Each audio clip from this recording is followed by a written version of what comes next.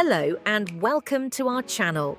Today, we're diving into a highly important topic the ongoing voter fraud claims made by former President Donald Trump.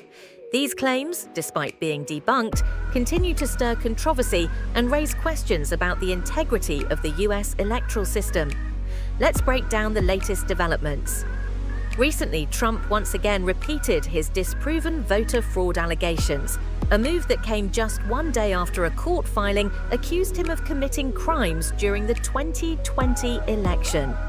Despite multiple audits, investigations, and official reports confirming that there was no widespread voter fraud, Trump continues to push these claims.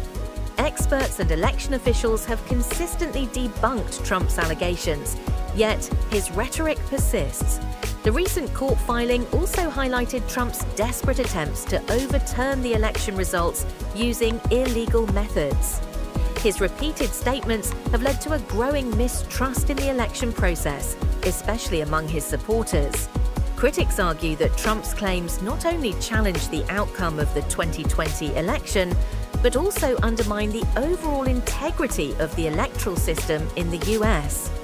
Additionally, his narrative has fueled conspiracy theories and further spread misinformation.